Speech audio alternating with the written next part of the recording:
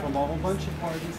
And look, uh, number one, we'll wait and see. I mean, that's, believe me, everybody's too busy to talk about lawsuits. But those 11 names, we don't know. We don't know yet. What the hell's coming, you But know? there will be And- 11 names.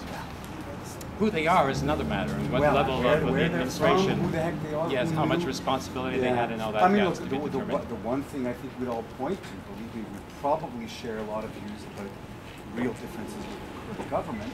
One of the good things that Yes, everybody adopted was, no, not so much that, but was the law limiting uh, donations to 100 bucks. I mean, moving forward, I think, uh, while you're not comfortable with that, it seems to be a That's, more that's okay. transparent uh, It's okay. start. I mean, yeah. I, uh, for me, you know, I can't afford more than hundred dollars. No, but, but- but, isn't the need protection that in the eyes of the law, that's a level, that's a, listen, there's bad people out there who can still screw around and say, here's Well, the Party Quebec was implicated in the, uh, Well, in the you know, uh, uh, and all that sort of stuff, you know, but Commission Charbonneau, yes. Anyway, uh, uh, first of all, anyway, what I, I deeply respect is the kind of thing you're doing is part of democracy. I mean, Yes. one- one of the things I take as a given is if you're doing this, Abraham, it's because you understand that there's some legitimacy to the political process and it's how stuff happens. Oh, this is a wonderful opportunity Yeah. to educate people, Yeah. yes. Yeah. And ideas float and fly around, you we know, so. Anyway, good luck. Good Thank luck. you. Nice Okay, to bye, see you. David. Okay, bye-bye.